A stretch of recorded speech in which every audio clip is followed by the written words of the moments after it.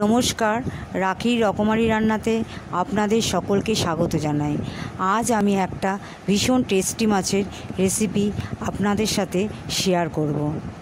আজকের রেসিপি পার্শে মাছের তেল ঝাল।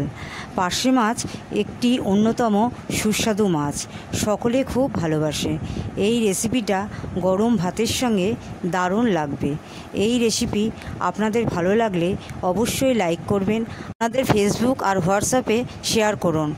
আর এমন নিত্য নতুন রেসিপি জানতে আমার চ্যানেলে অবশ্যই সাবস্ক্রাইব করুন ও বেল আইকন ক্লিক করুন। চলুন দেখে নিই কী করে করবেন পার্শে মাছের তেল ঝাল। আমি এই রেসিপিটির জন্য নিয়েছি সাড়ে চারশো পার্শে মাছ। পার্শে মাছ ধুয়ে নুন হলুদ মাখে ম্যারিনেট করে আধ ঘণ্টা রেখে দিয়েছি।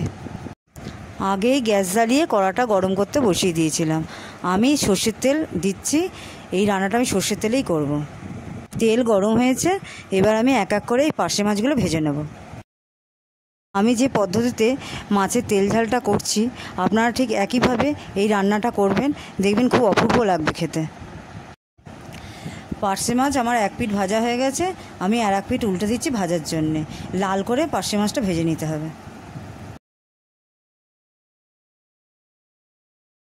দেখতে পাচ্ছেন মাছ লাল করে ভাজা হয়ে গেছে, এবার আমি মাছগুলো তুলে নিচ্ছি। দেখুন ঠিক এরমভাবেই পার্শে মাছগুলো লাল লাল করে ভেজে তুলে নেবেন। এই পার্শে মাছের তেল ঝালে একটু বেশি সর্ষের তেল দিয়ে রান্না করতে হবে। আমি এই মাছ ভাজার তেলেই আমি এক চামচ পাঁচফোড়ন দিচ্ছি। ছোট সাইজের একটা টমেটো কুচি করে নিয়েছি, সেটা সর্ষের তেলে আমি অ্যাড করছি।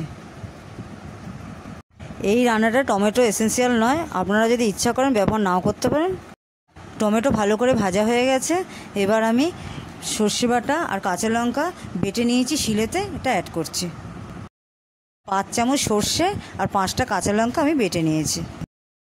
দু মিনিটের মতন এই মশলাটা কষে নেব। কষার গন্ধ বেরিয়েছে, তেলও ছেড়েছে, এবার আমি এক চামচ হলুদ অ্যাড করছি। হলুদ দিয়ে নেড়ে নিয়ে এবার আমি এক চামচ নুন অ্যাড করছি। রান্নার পরিমাণ মতন নুন অ্যাড করতে হবে। খানিক্ষণ নেড়ে নেব আর আপনারা ঝালটা আপনাদের যে যেমন খান সেইভাবে দেবেন।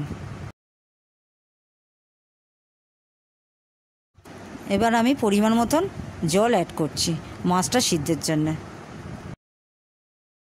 ঝোলটা ফোটা অবধি অপেক্ষা করব। ঝোল ফুটে গেলে আমি মাছগুলো কড়ায় দেবো। দেখুন বন্ধুরা, ঝোল ফুটে গেছে। এবার কড়াই আমি এক এক করে মাছগুলো সাজিয়ে দিচ্ছি।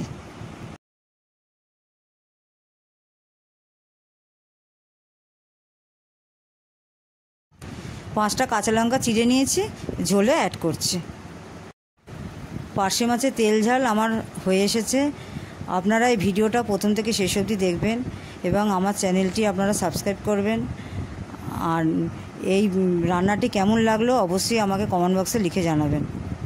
পার্শে মাছের তেল ঝাল আমার রেডি আমি পার্শে মাছের ঝাল গরম গরম এইভাবে পরিবেশন করলাম। আপনারা অবশ্যই এই রেসিপিটি বাড়িতে ট্রাই করবেন। দেখবেন এই রেসিপিটি আপনাদের খুব ভালো লাগবে খেতে।